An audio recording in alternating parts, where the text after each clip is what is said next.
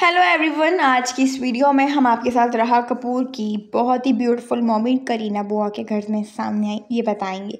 Video शुरू करने से पहले हमारे चैनल को सब्सक्राइब कर लें और साथ ही बेल आइकन पर क्लिक कर दें। इस टाइम पर पूरे सोशल मीडिया पर करीना कपूर की बहुत ही ब्यूटीफुल मोमेंट सामने आ रही हैं, जहाँ पर अपनी बहुत ही प्यारी सी बेबी गर्ल राह कपूर के साथ, अपने दोनों बच्चों के साथ क्वालिटी टाइम स्पेंड करते हुए नज़र आई।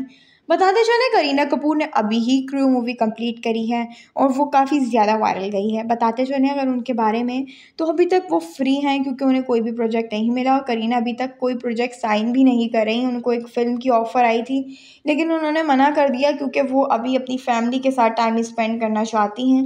वेल well, दोस्तों इस टाइम पर वो अबुआ करीना कपूर करिश्मा कपूर राह कपूर के साथ खेलती हुई तैमूर जय के साथ इंजॉय करती हुई नज़र आ रही थी। वेल well, दोस्तों इस टाइम पर ये लोग क्वालिटी टाइम स्पेंड कर रहे हैं दिवाली की सेलिब्रेशन के बाद।